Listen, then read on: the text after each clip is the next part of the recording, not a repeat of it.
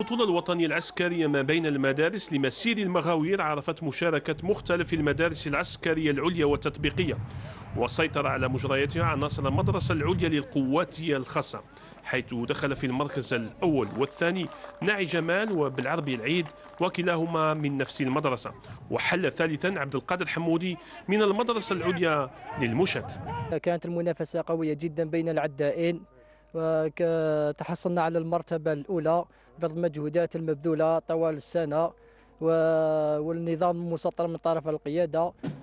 حفل الاختتام أشرف عليه العميد قسيس بالقاسم قائد المدرسة العليا لسلاح المدرعات الشهيد محمد قادري أيها الرياضيون الآن وقد انتهت وقائع هذه البطولة التي تشرفت المدرسة العليا لسلاح المدرعات بتنظيمها. فباسمكم جميعا أقدم جزيل الشكر. لكل من ساهم من قريب أو بعيد في تنظيم وتحضير هذه التظاهرة الرياضية العسكرية.